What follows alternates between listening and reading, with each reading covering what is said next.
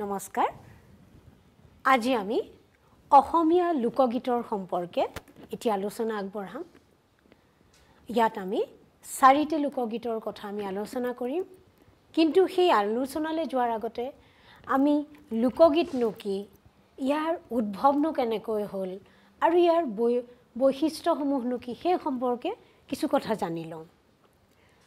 মানৱ মনৰ আনন্দদায়ক আৰু বেদনাদায়ক অনুভূতিয়ে লোকগীতৰ প্ৰধান উৎস। লোকগীত চহাপ্ৰাণৰ মুক্ত পৰিস্ফুৰণ আৰু অন্তৰৰ ভাৱাবেগৰ স্বতঃস্ফূৰ্ত প্ৰকাশ। গতিকে মানৱ মনৰ সেয়া সেই আদিম আদিম সময়ৰ মানুহ যেতিয়া মানৱ সভ্যতাৰ যেতিয়া আৰম্ভণি হৈছিল যি দুকমুকালি পোৱাৰ যি মানৱ সভ্যতা বা ক্ৰমবিকাশ লাভ কৰা যি মানৱ সভ্যতাসমূহ যিকোনো স্তৰতে নহওক কিয় মানুহৰ যি আনন্দ বিষাদৰ যি অনুভূতি সেয়া চিৰন্তন সেয়া বিশ্বজনীন। আৰু সেই অনুভূতি প্ৰথমতে লিখিত সাহিত্য নাছিল গতিকে মানুহে মনৰ সেই ভাৱ যেতিয়া মানুহে কথা ক'ব পৰা হ'ল ইজনে সিজনৰ মনৰ ভাৱ কথাৰে প্ৰকাশ কৰিব পৰা হ'ল ভাষাৰে প্ৰকাশ কৰিব পৰা হ'ল তেতিয়া তেওঁলোকে তেওঁলোকৰ সেই অনুভূতিসমূহ অন্তৰ নিজৰি যোৱা অনুভূতিসমূহ লোকগীতৰ মাধ্যমেৰে তেওঁলোকে প্ৰকাশ কৰিছিল। তেওঁলোক কোনো কবি নাছিল। তেওঁলোকৰ সুৰ লয় চন্দৰ কোনো জ্ঞান নাছিল। কিন্তু তৎসত্বেও হৃদয়ৰ যি অনুভূতি যি অন্তৰৰ যি আৱেগ উঠলি উঠা আৱেগ সেই তাৰ যি স্বতঃস্ফূৰ্ত প্ৰকাশ স্বাভাৱিক প্ৰকাশ সেই প্ৰকাশতে লোকগীতসমূহৰ উৎপত্তি হয়।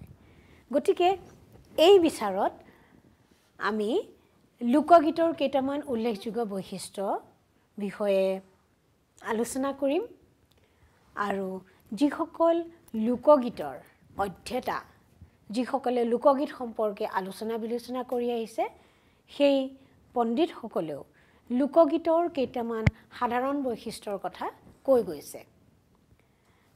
সেই বৈশিষ্ট্যকেইটালৈ আমি আহোঁ এতিয়া। লোকগীত বৈচিত্ৰ্যপূৰ্ণ আৰু সমৃদ্ধিশালী।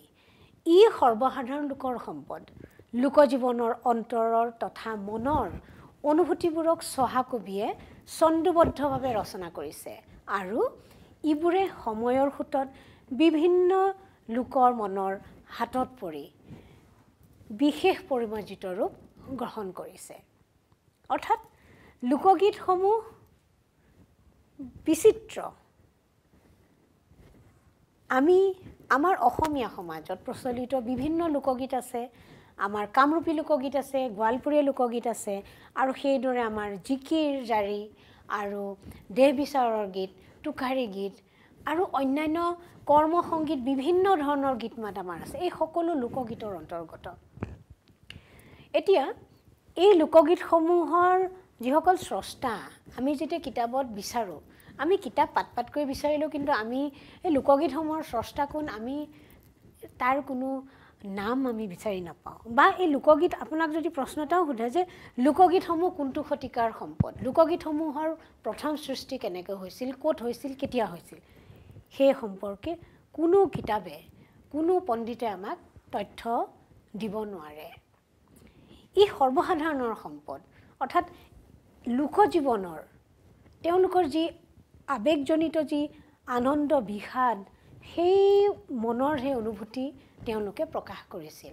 আৰু সভ্যতাৰ প্ৰথম আৰম্ভণি চোৱাৰ যিখিনি সময় গ্ৰাম্য সভ্যতাৰে প্ৰথম আৰম্ভণি চহৰীয়া সভ্যতা নগৰ নগৰকেন্দ্ৰিক সভ্যতাৰ পিছত। গতিকে প্ৰথমে গাঁৱৰ পৰাই আমাৰ সমাজখনৰ বিকাশ লাভ কৰিছে। গতিকে সেই সভা চহাকবি অৰ্থাৎ গ্ৰাম্য সমাজৰ যিসকল লোক তেওঁলোক কোনো লিখিত সাহিত্যৰ বিষয়ে তেওঁলোকৰ জ্ঞান নাছিল তেওঁলোক অশিক্ষিত আছিল কিন্তু তথাপিতো আমি তেওঁলোকৰ স্বভাৱ কবি কৈছোঁ তেওঁলোক চহাকবি গতিকে তেওঁলোকে ছন্দবদ্ধভাৱে এই যি ছন্দ এই যিটো ছন্দ অনুভূতি সেইটো তেওঁলোকৰ মনতে আছে। এই কেঁচুৱায়ো কেঁচুৱায়ো যেতিয়া ফূৰ্তিত ফূৰ্তি ফূৰ্তি মনেৰে থাকে খুব আনন্দিত হৈ থাকে এই কেঁচুৱাবোৰৰ মুখেদি কিবা কিবি শব্দ উচ্চাৰণ কৰে আৰু সেইবোৰ শুনিবলৈ বৰ শুৱলা হয়। গতিকে শিশুৰ মুখৰ সেই মাতটো শুনিবলৈ বৰ শুৱলা। গতিকে স্বভাৱ কবি যিসকল চহা কবি চহা সাধাৰণ মানুহ তেওঁলোকৰ অন্তৰৰ যি ভাৱ অনুভূতি তেওঁলোকে সেই ভাৱখিনি যেতিয়া প্ৰকাশ কৰে সেইটোৰ যি হেন্দুলনি তোলে সেয়াও চন্দুবদ্ধ ৰূপ লাভ কৰে। আৰু সময় পাৰ হৈ যোৱাৰ লগে লগে তেওঁলোকে যি তেওঁলোকে শব্দ প্ৰয়োগ কৰিছিল যি সুৰ লয় তেওঁলোকে প্ৰয়োগ কৰিছিল স্বাভাৱিকভাৱে সেই তালৈ হয়তো অলপ পৰিমাৰ্জন হৈছিল। হয়তো সেইখিনি আৰু অলপ পৰিশীলিত হৈছিল। আমি দ্বিতীয় বৈশিষ্ট্যৰ কথা কওঁ। লোকগীতবোৰৰ লোক সমাজৰ জীৱন চেতনা আৰু আশা আকাংক্ষা আৱেগ অনুভূতি কাৰুণ্য বিষাদ বেদনা আদি প্ৰকাশ পায়। গতিকে ইতিমধ্যে আমি কৈ আহিছোঁৱেই যে তাত মানুহৰ হৰ্ষ বিষাদ সকলো ভাৱ অনুভূতি প্ৰকাশ পায়। আৰু সেইকাৰণে লোকগীতৰ যদি আমি বিষয়বস্তুলৈ চাওঁ লোকগীতসমূহৰ বিষয়বস্তু মানুহৰ সেই আৱেগজনিত যি আশা আকাংক্ষা আৰু তেওঁলোকৰ যিটো সুখ দুখ হয়তো নোপোৱাৰ যি বেদনা ইত্যাদি সকলো ভাৱ ফুটি উঠে। আমি কৰ্মসংগীতবোৰলৈ চাওঁ বিভিন্ন ধৰণৰ কৰ্ম বিষয়ক গীত আছে আমাৰ সেই কৰ্মসংগীত বুলি সেইখিনি শ্ৰেণী বিভাগ কৰিছে। আকৌ আমি গোৱালপৰীয়া লোককতো মৈশাল মৈশাল গীত পাওঁ। আৰু অন্যান্য গীত পাওঁ। গতিকে এই গীতসমূহৰ মাজতো মানৱ জীৱনৰ ব্যক্তি জীৱনৰ যি আৱেগ অনুভূতি আৰু মনৰ সেই সুপ্ত আশা আকাংক্ষাসমূহ তাত বিকাশ লাভ কৰে। সেইটো বাহিৰলৈ ওলাই আহে। লোকগীতত জনসাধাৰণৰ বাস্তৱ অভিজ্ঞতা প্ৰকৃতিৰ পৰা পোৱা নানা অভিজ্ঞতা আৰু ব্যৱহাৰিক জীৱনৰ লগত সম্বন্ধ থকা অনেক বিষয় কেন্দ্ৰ কৰিয়েই চহাকবিসকলে লোকগীত ৰচনা কৰে কাৰণেই গীতবোৰত লোক সমাজৰ ছবি স্বতঃস্ফূৰ্তভাৱে প্ৰকাশ পায়। এই যি চহা জীৱন চহা জীৱন সৰ্বসাধাৰণৰ জীৱন আৰু তাত তেওঁলোকে তেওঁলোকে স্বৰ্গৰ অপ্সৰাৰ কথা তেওঁলোকে নকয় সেয়া তেওঁলোকে চিন্তাও কৰিবলৈ নাযায়। তেওঁলোকে তেওঁলোকৰ যি বাস্তৱ অভিজ্ঞতা তেওঁলোকে প্ৰকৃতিদত্ত তেওঁলোক প্ৰকৃতিৰ সন্তান। ঘাই ঘাইকৈ ক'বলৈ হ'লে তেওঁলোক প্ৰকৃতিৰ সন্তান। গতিকে তেওঁলোকে প্ৰকৃতিয়ে তেওঁলোকক বিভিন্ন প্ৰকাৰে তেওঁলোকক সা সামগ্ৰী যোগান ধৰিছে প্ৰাকৃতিক সম্পদৰে তেওঁলোকক ধন্য কৰিছে তেওঁলোকৰ শীতকালত তেওঁলোকে নিজকে কেনেকৈ ৰক্ষা কৰিব তেওঁলোকৰ কেনেকৈ প্ৰাণ ধাৰণ কৰিব সেয়া তেওঁলোকে প্ৰকৃতিয়ে তেওঁলোকক শিক্ষা দিয়ে। আৰু সেইদৰে প্ৰকৃতিৰ পৰা সেই লাভ কৰা জ্ঞানে তেওঁলোকে জীৱনত বাস্তৱ জীৱনত তেওঁলোকক চলিবলৈ বহুতখিনি শিক্ষা দিয়ে। গতিকে প্ৰকৃতিক এফাল পৰা ক'বলৈ প্ৰকৃতিয়ে আমাৰ শিক্ষক। ইংৰাজ কবি উইলিয়াম ৱৰ্ছতে প্ৰকৃতিক শিক্ষক বুলি কৈছে। আৰু কোনোবা কোনোবাই প্ৰকৃতিক শিক্ষক বুলি কৈছে। কাৰণ কিয়? কাৰণ মানৱ জীৱনৰ আৰম্ভণিৰ আৰম্ভণিৰ যি সভ্যতা সভ্যতাসমূহৰ এই প্ৰকৃতিৰ পৰা যিখিনি তেওঁলোকে যিখিনি প্ৰকৃতিৰ যি ঘটনা পৰিঘটনা সেইসমূহ দেখি তেওঁলোকৰ অনুভৱ উপলব্ধি হৈছিল যে এইটো সময়ত বাৰিষা কালত এনেকুৱা হয়। তেওঁলোকে বাৰিষা কাল বুলি জনা নাছিল কিন্তু আকাশলৈ চাই আকাশৰ যি ৰেহ ৰূপ গতি প্ৰকৃতি দেখি তেওঁলোকে অনুমান কৰিছিলে হয় এতিয়া এতিয়া এনেকুৱা সময় এনেকুৱা সময় হ'ব গতিকে আমি বাহিৰত নাথাকোঁ আৰু আদিম মানুহেও সেইখিনি অলপ উপলব্ধি কৰিছে। নহয় আমি বাহিৰত থাকিলে আমাৰ শৰীৰ তিতিব আমি নিজকে ৰক্ষা কৰিব নোৱাৰিম আৰু শীতকালত তেওঁলোকে কেনেকৈ থাকিব লাগে ইত্যাদিৰে প্ৰকৃতিৰ পৰা জীৱ জন্তুৰ পৰা প্ৰকৃতিৰ জাতৰ যিখিনি অন্য জীৱ জন্তু আছিল সেই জীৱ জন্তুৰ জগতৰ পৰাও মানুহে বহুতখিনি অভিজ্ঞতা লাভ কৰিছিল।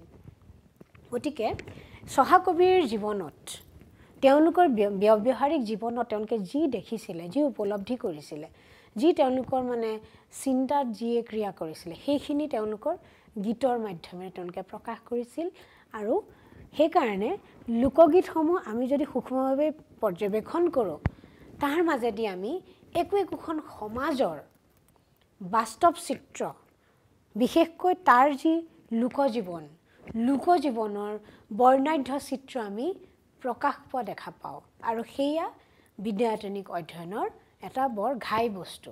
লোকগীতসমূহৰ মাধ্যমেদি আমি সেই সেই সমাজৰ আচাৰ বিচাৰ তেওঁলোকৰ বিশ্বাস পৰম্পৰা ইত্যাদি সকলো কথা আমি গম পাব পাৰোঁ। আৰু সেইটো বিদ্যায়তনিক ক্ষেত্ৰত সেয়া সেইকাৰণেই বিদ্যায়তনিক আলোচনাত লোকগীতসমূহৰ অপৰিসীম গুৰুত্ব আছে আৰু তাৰ মূল্য আছে। গতিকে আমাৰ এই পাঠটো আমি যিকেইটা লোকগীত দিম তাৰ মাজেদিও আমি এনেকুৱা বহুত আমি চিত্ৰ বিচাৰি পাম। অধিকাংশ লোকগীতৰ ৰচনাকাল সম্পৰ্কে খাটাংকৈ কোনো সিদ্ধান্ত পোৱা নাযায়। কাৰণ মই অলপ আগতে আলোচনাত কৈছোঁৱেই আৰম্ভণিতে মই কৈছোঁ যে কোনে ৰচনা কৰিছিল কোনটো শতিকাত কেনেকুৱা পৰিৱেশত ৰচনা কৰিছিল তাৰ কোনো লিখিত বিৱৰণ নাই। বুৰঞ্জী বা ঐতিহাসিক আৰু বৈষ্ণৱ ভাৱসম্পন্ন গীতৰ ৰচনাৰ কালৰ বিষয়ে অনুমান কৰি ল'ব পাৰি। সেইটো হয় যে আমাৰ সাহিত্যত আমাৰ সাহিত্যত আমি যি যুগ বিভাজন কৰিছোঁ অসমীয়া সাহিত্যত তাত আমি মৌখিক সাহিত্যৰ যুগ লিখিত সাহিত্যৰ যুগ আৰু লিখিত সাহিত্যৰ যুগটো বিস্তৃত। এইটো আমি চৰ্যাপদৰ সময়ৰ পৰা আমি ধৰিছোঁ। চৰ্যাপদ আৰু অন্যান্য চৰ্যাপদ শ্ৰীকৃষ্ণ কীৰ্তন এনেকুৱা যিখিনি মন্ত্ৰ সাহিত্য শ্ৰেণী মন্ত্ৰ সাহিত্যখিনি লিখিত সাহিত্য নহয় এইখিনি লোক মৌখিক সাহিত্য এইখিনি পৰৱৰ্তী সময়তহে ইয়াক লিখিত ৰূপ প্ৰদান কৰা হৈছিলে। এতিয়া গতিকে সেই খাটাংকৈ ক'ব নোৱাৰি। বুৰঞ্জী বা ঐতিহাসিক অৰ্থাৎ বুৰঞ্জীৰ লগত জড়িত যিবোৰ কথা কাহিনী যিবোৰ লোকগীতৰ মাধ্যমেদি প্ৰকাশ পায় যেনে আমাৰ কিম্বদন্তীমূলক গীত আৰু মণিৰাম দেৱানৰ গীত এইখিনি বুৰঞ্জীমূলক মালিতা বুলি কোৱা হয়। গতিকে মণিৰাম দেৱানৰ গীত পিয়লি ফুকনৰ গীত এনেকুৱা যিখিনি গীত মাত আছে এইখিনি আমি বুৰঞ্জী বা ঐতিহাসিক সময়ৰ কিবা ঘটনাৰ লগত জড়িত কৰিব পাৰোঁ। গতিকে আমি তেতিয়া ক'ব পাৰোঁ যে হয় মণিৰাম দেৱান নামৰ এজন ব্যক্তি আছিল পিয়লি ফুকন আছিল আৰু অন্যান্য ৰাঘৱ মৰাণ এনেকুৱা তেওঁলোকৰ সেই সেই আহোম যুগৰ সেই বিশেষ বিশেষ পাত্ৰ তেওঁলোক কেতিয়ানো জন্ম লাভ কৰিছিল আমি বুৰঞ্জীৰ পৰা সেইখিনি তথ্য পাওঁ। গতিকে তেওঁলোকৰ লগত জড়িত যিখিনি গীত মাত তাৰ এটা সময় নিৰ্ধাৰণ কৰিবলৈ অসুবিধাজনক নহয়। আৰু সেইদৰে বৈষ্ণৱ ভাৱাপন্ন বৈষ্ণৱ ভাৱাপন্ন গীত মাতৰ কথা ক'বলৈ গ'লে আমি প্ৰাক শংকৰী যুগৰ পৰা আমি ষোড়শ আমি চতুৰ্দশ শতিকাৰ পৰা আমি আৰম্ভ কৰিব লাগিব একেবাৰে ষোড়শ সপ্তদশ শতিকালৈকে। অৰ্থাৎ শংকৰোত্তৰ যুগলৈকে আমি অলপ আগবাঢ়ি আহিব। গতিকে সেই সময়ছোৱাত প্ৰাক শংকৰী যুগৰ যিসকল কবি মাধৱ কন্দলীকে প্ৰমুখ্য কৰি অন্য যিসকল কবি তেওঁলোকৰ সৃষ্টিত যি বৈষ্ণৱ ভাৱাদৰ্শ যি ফুটি উঠিছিল গতিকে সেই সময়ছোৱাত যিখিনি লোকগীত ৰচিত হৈছিল হয়তো তাত হয়তো মাধৱ মাধৱদেৱৰ নামো দিয়া হৈছে বা অন্য কোনোবা হয়তো বৈষ্ণৱ সন্তৰ কথাও নামো দিয়া হৈছে যে মাধৱে কহয় মাই এনেকুৱা ধৰণৰ কিছুমান শব্দ হয়তো দিয়া হৈছে। কিন্তু সেয়া মাধৱদেৱৰ ৰচনা নহয়। কিন্তু বৈষ্ণৱ ভাৱাপন্ন যিগৰাকীয়ে ৰচনা কৰিছিল যিগৰাকী কবিয়ে সৃষ্টি কৰিছিল অৰ্থাৎ লোককবিয়ে যিয়ে সৃষ্টি কৰিছিল লোকগীতটি গতিকে তেওঁ নিশ্চয় বৈষ্ণৱ ভাৱাপন্ন ব্যক্তি হ'ব। আৰু সেইকাৰণে তেওঁ যাক তেওঁ সেৱা কৰে যাক যি তেওঁ পূজনীয় তেওঁৰ নামক লৈয়ে তেওঁ গীতটিৰ মুখনি মাৰিব বিচাৰে। গতিকে সেই সময়ছোৱাত ৰচিত গীত মাতো গতিকে মই এই গীতটো আমি সময় আমি কাল নিৰ্ধাৰণ কৰিব নোৱাৰোঁ। কিন্তু যিহেতু ইয়াত বৈষ্ণৱ ভাৱাপন্ন বিচাৰধাৰা এটা আছে গতিকে সেই সময়ছোৱাত আকৌ কথাবোৰৰ কথা আছে দেই। মানে গীতত যিখিনি শব্দ প্ৰয়োগ কৰে তেতিয়া আমি অকল ভাষা তত্ত্বৰ দিশলৈ যাব লাগিব আমাৰ ভাষাৰ কথালৈ যাব লাগিব। গতিকে সেই যি শব্দ প্ৰয়োগ কৰিছে সেই শব্দবোৰ বিশ্লেষণ কৰিলেও কিন্তু কোনটো শতিকামানৰ হ'ব আমি সেইখিনি কথাও বিচাৰ কৰিব পাৰোঁ। গতিকে মানে আলোচনাৰ যথেষ্ট পৰিসৰ বহল আৰু আমি বিভিন্ন প্ৰকাৰে সেইবোৰ আমি আলোচনা কৰিব পাৰোঁ। আৰু কেইটামান লোক লোকগীতৰ বৈশিষ্ট্য আছে। লোকগীতৰ সাধক তথা গায়ক গায়িকাসকলৰ ৰসশাস্ত্ৰৰ জ্ঞান যথেষ্ট। ৰসশাস্ত্ৰ হৈছে আমাৰ নৱৰস। শৃংগাৰ হাস্য কৰুণ ইত্যাদি যিখিনি আমাৰ নৱৰসৰ কথা কৈছে। প্ৰাচ্য সমালোচনা প্ৰাচ্য তত্ত্ববিদসকলে গতিকে সেই ৰসশাস্ত্ৰৰ যিখিনি আমাৰ নৱৰসৰ কথা কৈছে সেই ৰসজ্ঞান গায়ক গায়িকাসকলৰ আছিল। কিন্তু তেওঁলোকে ৰসশাস্ত্ৰ বিশাৰদ নহয়। তেওঁলোকে বিদ্যায়তনিকভাৱে তেওঁলোকে ৰসশাস্ত্ৰ তেওঁলোকে পঢ়া নাছিল বা সংস্কৃতৰ লগত তেওঁলোকৰ কোনো সম্পৰ্ক নাছিল। কিন্তু এই আমাৰ মনৰ যি স্বভাৱজাত যিখিনি আৱেগ অনুভূতি তাৰ পৰাই ৰসৰ সৃষ্টি। গতিকে সেইকাৰণে কোৱা হয় লোকগীতৰ সাধক তথা গায়ক গায়িকাসকলৰ ৰসশাস্ত্ৰৰ জ্ঞান যথেষ্ট। কাৰণ আমি যদি লোকগীত এটা শুনো সেইটোক যদি আমি উপলব্ধি কৰিবলৈ চেষ্টা কৰোঁ গতিকে তাত আনন্দ আৰু বিষাদৰ কথা যেনেকৈ নিহিত হৈ থাকে অন্তৰ্সিক্ত হৈ যায়। গতিকে সেইকাৰণে কোৱা হৈছে যে তাত ৰসশাস্ত্ৰৰ জ্ঞান যথেষ্ট। সেয়ে লোকগীতবোৰ ৰসসাগৰত ডুবি থাকে। লোকগীতবোৰৰ অধিকাংশ শৃংগাৰ হাস্য আৰু কৰুণ ৰসেৰে ভৰপূৰ। অৱশ্যে ইয়াত শৃংগাৰ হাস্য আৰু কৰুণ ৰসে অধিক প্ৰাধান্য লাভ কৰে। বিভৎস ৰস বা অন্য ৰসৰ প্ৰয়োগটো কিছু কম কাৰণ মানুহে এই তিনিটা ৰসেৰে আপ্লুত হ'বলৈ বেছি ভাল পায়। এইটো এটা মানুহৰ এটা স্বভাৱজাত এটা বিচাৰ বা মানুহে বিচাৰে। অৱশ্যে কিছুমান গীতত বীৰ আৰু ৰৌদ্ৰ ৰসৰ প্ৰাধান্য দেখা যায়। লোকগীতবোৰত উপমা ৰূপক অপ্ৰস্তুত প্ৰশংসা অতিশয়োক্তি আদি অলংকাৰযুক্ত হোৱা দেখা যায়। লোকগীতৰ অধিকাংশ গীততে পয়াৰ পদ ছবি দুলৰি আদি ছন্দ দেখা যায়। লোকগীতত ব্যৱহাৰ কৰা সংলাপবোৰে কেতিয়াবা কেতিয়াবা গীতবোৰক নাটকীয় মৰ্যাদা দিয়া দেখা যায়। গতিকে লোকগীতৰ যেতিয়া আমি বিদ্যায়তনিক আলোচনা কৰিবলৈ যাওঁ তেতিয়া আমি উপমা ৰূপক অপ্ৰস্তুত প্ৰশংসা অতিশয়োক্তি আদি অলংকাৰৰ প্ৰয়োগ আমি লক্ষ্য কৰিম। আৰু তাৰ লগতে সেই তাত বিভিন্ন ধৰণৰ ছন্দ যেনে পয়াৰ পদ ছবি দুলৰি আদি ছন্দৰ প্ৰয়োগো আমি দেখিবলৈ পাওঁ। গতিকে লোকগীতৰ মানুহৰ স্বভাৱজাত আৱেগ অনুভূতি বিজড়িত গীত মাত যদিও তাৰ মাজত কিন্তু বিদ্যায়তনিক আলোচনাৰো যথেষ্ট পৰিসৰ আছে। যথেষ্ট পৰিসৰ আছে আৰু আমি সেইমতে আমি তেনেকৈ সেইবোৰ আলোচনা কৰিবলৈ গ'লে আমাৰ লোকগীতৰ আলোচনাটো যথেষ্ট আকৰ্ষণীয় হৈ পৰে। এতিয়া আমি যি আলোচনা কৰিবলৈ লৈছোঁ তাত আমি নিৰ্দিষ্টভাৱে চাৰিবিধ বিশেষ লোকগীত লৈছোঁ। তাতে এবিধ হৈছে গোৱালপৰীয়া লোকগীত আৰু তাৰ এটা বিশেষ শাখা হৈছে মৈচাল গীত। আমি এটা মৈচাল গীত লৈছোঁ। তাৰপিছত কামৰূপীয়া লোকগীতৰো এটা বিশেষ শাৰী আছে তাত আমি শিশু কৃষ্ণ আৰু যশোদা। এই শিশুলীলা বিষয়ক আমি এটি গীত লৈছোঁ। তাৰপিছত আমি লৈছোঁ শ্বাহ মিলান বা আজান ফকীৰে ৰচনা কৰা এটি জিকিৰ। এইটো এই অলপ আধ্যাত্মিক ভাৱাপন্ন গীত। আৰু শেষত আমি আলোচনা কৰিম এটি দেহ বিচাৰৰ গীত যাক আমি টোকাৰী গীত বুলিও কওঁ। গতিকে এই শেষৰ দুটি গীতৰ আধ্যাত্মিক ভাৱাপন্ন গতিকে আমি মূল আলোচনালৈ যোৱাৰ আগতে আমি থুলমূলভাৱে লোকগীতৰ বৈশিষ্ট্যসমূহনো কি আমি সেই সম্পৰ্কে আলোচনা কৰিলোঁ। গতিকে লোকগীতৰ সামান্য আমি এটা আলোচনা আগবঢ়ালোঁ। লোকগীতৰ থুলমূল ধাৰণা আপোনালোকক আগবঢ়ালোঁ। এই থুলমূল ধাৰণাৰ লগতে লোকগীতৰ বৈশিষ্ট্যসমূহৰ বিষয়ে আপোনালোকক জনালোঁ।